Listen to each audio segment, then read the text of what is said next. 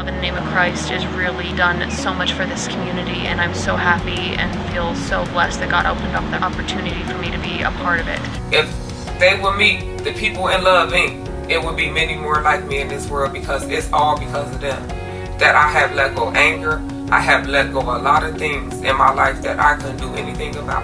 Every day before I come in, I sit in the parking lot and I pray. And I just pray for the right words. And I think um, God has been incredibly faithful to me in, in providing those words. Fridays are my favorite day of the week. And I love coming and talking with our neighbors.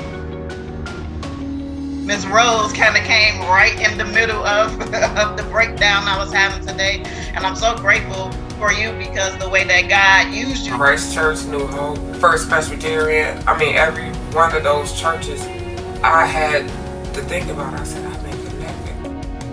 I'm more of an introvert and then, like being around a lot of people, I'm mostly by myself. But this class has really changed my perspective. I'm comfortable. This is, looks like a timeout here before they started going at it.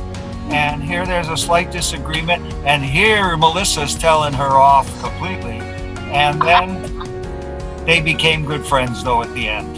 The classes have motivated me to want to do more with my family, in my life, and with my community. I just want to thank the Lord and thank this ministry because it's just been such an amazing experience for me. I have learned so much, I have grown so much. God has truly blessed me through each one of you. I can feel just the love from him towards me, of the proudness that he, how proud he is of me. Oh, I mean, he just shows me, Love Inc. builds relationships that change us. We bring together people from all walks of life to serve together and to learn together. Stepping out in faith, our neighbors and volunteers are seeing God's hand at work in their lives. Won't you join us? Love Inc. is helping to build life changing relationships in the name of Christ.